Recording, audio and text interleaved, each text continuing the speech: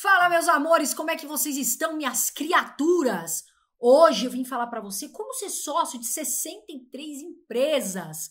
É isso mesmo, são empresas consolidadas. Eu vou trazer aqui para vocês. Vou falar as empresas, você vai receber dividendo. De quem? Ambev, empresa consolidada, Amazon. Não preciso nem falar, uma baita empresa, Natura, Açaí e mais, tá bom, turma? Tá aqui a Amazon. Ai, que empresa redondinha, né? A Amazon. Ambev, para quem gosta de tomar uma cervejinha e tal, aquela água. Tá aí também. Pessoal, seja sócio dessas 63 empresas, receba os dividendos. Agora você vai me falar como? E eu vou te explicar. Eu vou te explicar. Mas antes, turma, eu fiquei aqui fazendo esse roteiro, eu e o Renan, pelo menos três horas. Porque não é simples como Foi parece. Criar conteúdo. Três é pouco, umas 5 horas. E o que, que nós vamos pedir pra turma, Renan? É, Dá um likezinho. Senta o dedo no like, criatura. Senta o dedo no like e se inscreve também no canal. Porque você vem aqui ver um vídeo, ah, beleza. Não, você vem aqui, se inscreve e já ativa o sino pra você ficar por dentro, junto com a gente aqui no canal Riqueza em Dias. Certo? E comigo, Carol Dias, e com o Renan Drude, também o nosso menino QI alto. Vamos lá, pessoal. O que, que nós vamos fazer aqui? Nós vamos ser sócios de um fundo imobiliário, que, aliás, ó, redondinho, redondinho, que é o BTLG11. Aliás, os analistas estão falando desse fundo para 2025. Não é recomendação de compra. Agora, que ele é bom, ele é. Turma, vamos lá. O BTLG11, ele é um fundo, gestão do BTG Pactual, e é focado em galpões logísticos, tá, pessoal? Tem um patrimônio, a gente olha muito o patrimônio. No fundo, tem grana? Tem. 4,51 bilhões de reais. E por que, que galpão é bom? Porque as empresas elas precisam ter galpões logísticos bem, bem localizados. Por quê? Elas precisam de estoque.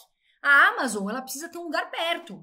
Ela precisa ter um galpão bem centralizado, bem localizado. Por quê? Porque quando ela faz a entrega, ela precisa estar rápida ali, ela precisa estar dentro, ela precisa estar com o galpão perto. E outra coisa, não é fácil mudar de galpão. Ah, vou sair desse galpão. Não é bem assim. Porque a maioria tem multa e outra muda toda a logística, pessoal. Imagina você tá num galpão, já tá acostumado, já tem ali as entregas, já tá fácil, aí você muda para um galpão lá longe.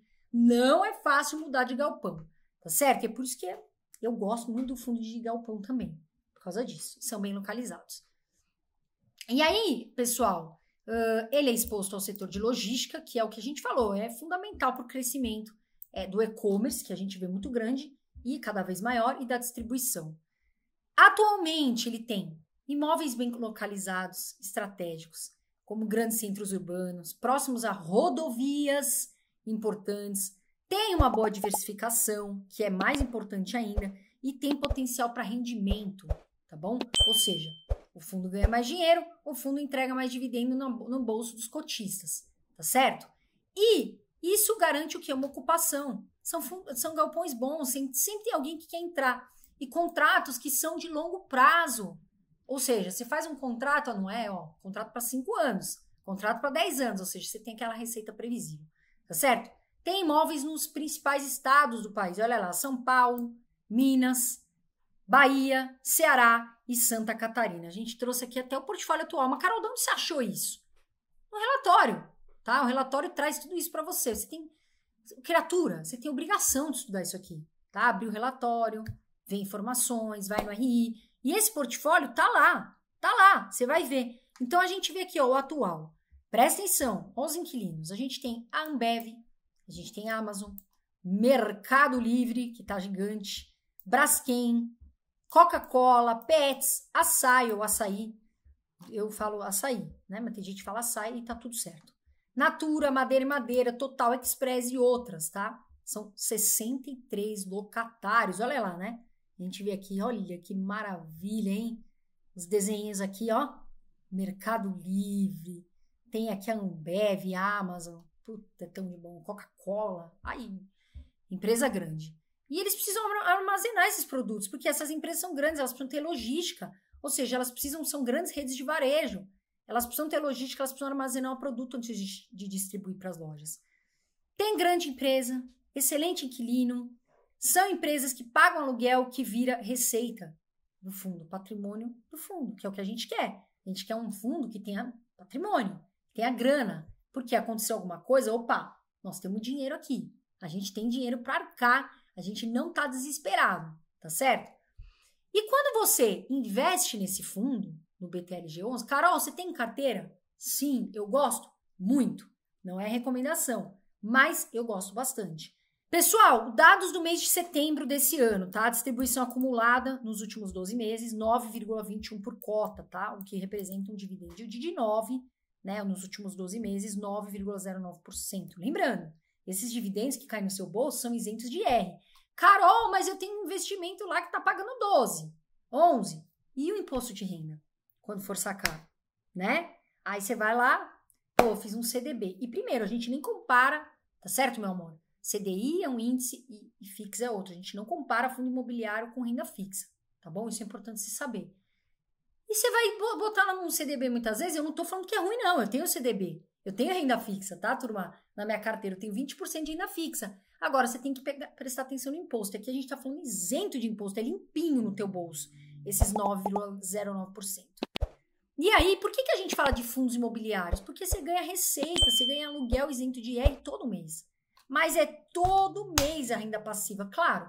Tirando exceções, né, turma? Infelizmente, uma pandemia, que aí prejudica os fundos. Teve fundo de shopping que não pôde pagar. Mas, de uma forma geral, você ganha todo mês ali. Renda passiva. Começa hoje, amanhã já vai virando mais, mais e mais e mais, vira uma bola de neve, vira juros compostos a seu favor. E aí você vai fazendo aquela renda passiva. Tá legal? Esse fundo ele costuma direcionar de 12 a 15% do seu patrimônio, do lucro anual para o seu portfólio de cotistas. Tá legal? E, turma, não é impossível investir em fundo imobiliário, tá bom? Você que está começando ou você que está investindo, pô, tem fundo imobiliário hoje que você compra com 15 reais. Fundo imobiliário excelente que você compra aí com 50, 60 reais. Ou seja, não é desculpa. Tá na bolsa, Carol, tenho medo. Calma, vai devagar. Vai com conhecimento ali devagarinho, você vai investindo. Agora não dá para ficar fora da bolsa de valores, ser sócio de gigantes empresas. Não dá para ficar de fora, né? Então você começa devagar. Essas empresas já ganham lucro. Essas empresas, muitas delas já estão perenes ali, já estão é, é, habituadas a ganhar dinheiro. E você, cotista, vai estar tá lá ganhando essa, a, a, dinheiro dessas 63 empresas. Tá certo, pessoal? Investir no BTLG11, você está investindo em diversificação, porque é diversificado, tem bom, um bom portfólio e, como eu falei, em regiões excelentes.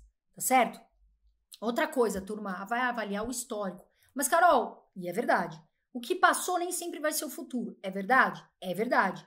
Mas quando você vê o histórico do fundo, eu gosto de ver histórico de cinco anos, você já tem uma noção de como é que a gestão está atuando, se aquele fundo teve derrapada, se aquele fundo é constante em pagamento de dividendo, o que que ele vem fazendo, vai olhar a gestão principal, quem é o gestor, o que que ele está fazendo, criatura, no fundo imobiliário, certo? E eu trouxe aqui para você o seguinte, se você quer aprender de forma inteligente, forma segura, rentável, não se perder nessa carteira, criatura, e investir de forma certa, eu trouxe para você um curso qual é o curso? Renda fixa mais fundos imobiliários, você pode escolher esse, ou você pode escolher renda fixa mais ações. Turma, você que quer aprender, tá num preço excelente. Oferta exclusiva agora. Não quer aprender, Renan? Não, eu sinto muito. Continua com conteúdo gratuito, aqui a gente vai trazer de qualquer jeito. Mas é aquela coisa, você aprende muito mais devagar, bate muito cabeça, pega dinheiro. Eu vou estar tá lá, vou estar tá lá mostrando na prática. Por quê? Conhecimento é a base, meu amigo. Ah, mas eu não quero pagar curso. Mas vai pagar, porque tem. Renan, quantos cursos você já fez? Vários, para chegar onde eu tô hoje, vários. Não sei nem como. Gastou ou não? Gastei, mas teve retorno. É isso. Então, se você quiser, tá aí. MPI, meu primeiro investimento para você saber do zero aos 10 mil. A gente vai mostrar, não é só teoria, blá blá blá, não, porque a gente gosta da prática. Tá certo, pessoal? E aí é um guia prático, tá legal? Faz o seguinte, digita MPI aqui nos comentários, MPI que a gente vai te enviar mais informações sobre esse curso completo, tá bom? De investimento que tá com preço super acessível. Ô criatura, larga de ser mão de vaca, viu? Você vai ver que vale a pena e vale muito. Eu também fiz muito curso, curso caro, mas valeu muito a pena. Tá bom, meu amor? Eu sempre falo, vai buscar sua aposentadoria. Vai depender do INSS, vai rodar. Né, não? Vai rodar. Não, o INSS, o topo da pirâmide ganha. A base, que é todo mundo, meu. Como é que faz? Esquece. Esquece, não vai depender de INSS. Se você conseguir viver com o salário mínimo, parabéns. Vai buscar, vai buscar investir. É o máximo que você vai ganhar no INSS. O salário mínimo. Vai ter que juntar duas pessoas para viver apertado. É isso, menino que é alto. É isso, menino golfinho. Então é isso por hoje, certo, meus amores? E dá o seu like, tá certo? Eu fico super feliz e agradecida. Já dá o like aí no vídeo. Um beijo de luz, eu sempre falo. Voa Brasil, quem investe futuro agradece. Fiquem com Deus e até o próximo vídeo.